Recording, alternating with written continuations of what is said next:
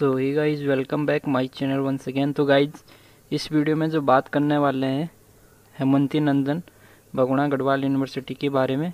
तो गाइज़ अगर आपने भी जो H N B Garhwal university में जो है जो है मेरिट फॉर्म भरा था ठीक है आ, जो भी है जिसके लिए और अगर आपका जो है मेरिट में नाम आ चुका है दो मेरिट आ चुकी है जैसा कि मैंने वीडियो पहले ही अपलोड कर दिया है दूसरी मेरिट आज आई है ठीक है और एक मेरिट जो है आपकी जो फ्राइडे को आ गई थी। तो गाइज़ दो मेरिट ऑलरेडी आ चुकी है। तो जिनका जो है, इस मेरिट में नाम आ रखा है तो उनके जो एडिशंस जो होने हैं, वो आठ अक्टूबर तक उनको जो है ऑनलाइन पेमेंट फ़ीस सबमिट करनी है। तो अब जो है एच ने जो है, जो पेमेंट लिंक जो ऑनलाइन फ़ीस सबमिशन का जो लिंक है, वो एक्टिवेट कर दिया है आज से।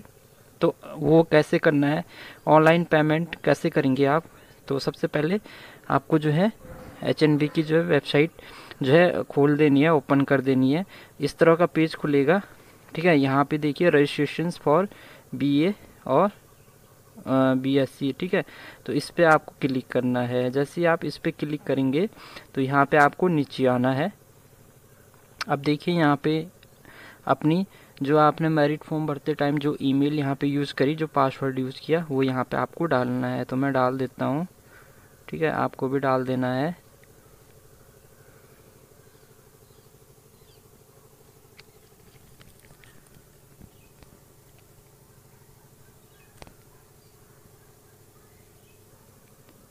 तो ईमेल डालने के बाद आपको कैप्चा कोड डालना है, उसके बाद इसको लॉगिन कर देना है, ठीक है? तो कैप्चा आपको ज़रा ढंग से डालना है, ठीक है? तो जैसे ही लॉगिन होगा, इस तरह से ये ओपन हो जाएगा, ठीक है? इस तरह से ये क्या हो जाएगा?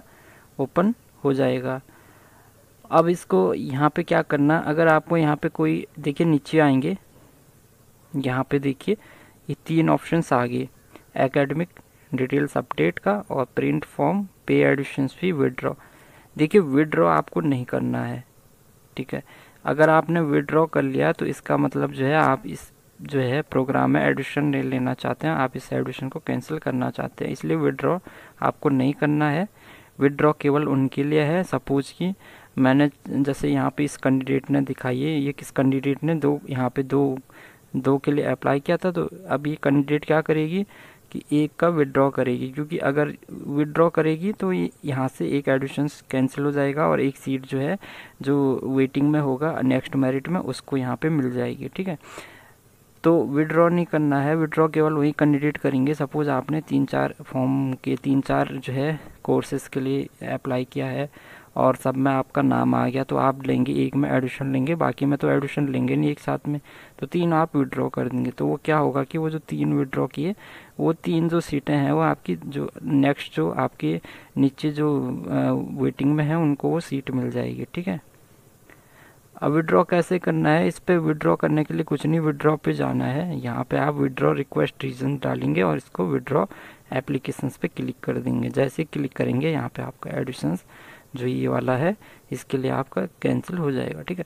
अब देखिए, यहाँ पे आपको क्या करना है, मैं एक चीज़ बता दूँ, अगर आप एडमिशन फ़ी पे करने से पहले अगर आप यहाँ पे अपने डॉक्यूमेंट्स या एकेडमिक डिटेल्स को अपडेट करना चाहते हैं तो आप अपडेट एकेडमिक डिटेल्स पे क्लिक कर लेंगे, ठीक है? और एक चीज़ मैं और आपको बता दूँ गाइज़ मोबाइल में अगर आपको दिक्कत होती तो आप इसको डेस्कटॉप साइट में ऑन कर लिए, ठीक है? डेस्कटॉप साइट में ऑन करेंगे तो आपको अच्छे से दिखेगा ये, ठीक है? इस तरह से दिखेगा। तो अब देखिए, यहाँ पे अगर आपको एकेडमिक डिटेल्स में कोई चेंजेस करने तो यहाँ से आप चेंज कर सकते हैं, ठीक है? यहाँ से आप चेंज कर सकते हैं पूरा, अगर आपको कोई चेंज करना है। उसके बाद इसको चेंज कर लिया है, उसके बाद सेव एंड अपलोड डॉक्यूमेंट्स पे करना है। यहाँ से भी आप जो है, जो फ़ोटो वगैरह जो है अपलोड कर सकते हैं। ठीक है, अगर आपको लगता है कि मैंने जो है, गलत जो है डॉक्यूमेंट्स अपलोड किया है, ढंग से नहीं किया अपलोड ठीक है तो यहाँ से भी आप अपलोड कर सकते हैं। उसके बाद submit and go to dashboard अब देखिए, सब कुछ अपडेट आप अपडेट वहाँ से कर सकते हैं, ठीक है? कहने का मतलब ये है। उसके बाद आपको क्या करना है? देखिए, यहाँ पे आ गया। अब जिस भी कोर्स में आप एडमिशन ले रहे हैं, उसके आगे पे एडमिशन फ़ी पे आपको क्लिक करना है। अब जैसे ही मैं पे एडमिशन फ़ी पे क्लिक करूँगा, देखिए, अब यहाँ पे आ गया। टोटल एडमिशन फ़ी ऑलरेडी यहाँ पे आ आ जाएगी, जितनी भी फ़ीस होगी। अब जैसे यहाँ पे है, ये ये प्रोग्राम्स है आपका बीएससी मैथ ग्रुप का है ये। ठीक है, अब जैसे यहाँ पे देखिए जो रिफंडेबल फ़ीस है छः सौ रुपये ठीक है? एग्जामिनेशन फ़ीस सात सौ पचास है। आईडी कार्ड की चालीस रुपये है। पुअर बॉयज़ असिस्टेंट फ़ीस बीस रुपये है। रीडिंग रूम फैसिलिटी यानी जो लाइब्रेरी है, पचास रुपये ट्यूशन फ़ीस चार सौ पचास और यूनिवर्सिटी इन्लॉमेंट फ़ीस दो। टोटल इक्कीस सौ दस रुपये यहाँ पर फ़ीस है। ठीक है? उसके बाद पेमेंट गेटवे प्रोसेस पे क्लिक करेंगे। जैसे ही क्लिक करेंगे ऑलरेडी ये आपका बैंक के पेज में ले जाएगा। यहाँ पे आप पेमेंट देख सकते हैं, आप credit card debit card net banking के थ्रू यहाँ पेमेंट कर सकते हैं। तो यहाँ से आप जो है पेमेंट कर देंगे। पेमेंट करने के बाद इसका क्या करना है? प्रिंट निकाल देना है, ठीक है? ठीक है तो प्रिंट आउट इसका निकाल देंगे और ये आपका बाद में जब आप फिजिकली जो है डॉक्यूमेंट वेरिफिकेशन के लिए जाएँगे तो वहाँ पे आपका ये सबमिट होगा। वहाँ पे इसलिए आपको जो है इसका प्रिंट निकालना ही निकालना है, ठीक है? तो विदाउट प्रिंट आप सीधे बैक मत कर दीजिएगा पेमेंट करने के बाद प्रिंट निकालना है इसका, ठीक है? और इससे पहले आपने बैग मैं एक चीज़ और दिखा देता हूँ आपको, यहाँ से भी एक चीज़ और है ये प्रिंट फॉर्म तो यहाँ से भी आपको इस फॉर्म का प्रिंट निकाल देना है। अगर आपने कोई ऐप अपडेट की है या अपडेट नहीं भी किया है तो तब भी आप प्रिंट निकाल दीजिएगा, ठीक है? उसके बाद एडमिशन फ़ी यहाँ से आपको पे करनी है। तो पे करने के बाद यहाँ से आप क्या कर देंगे?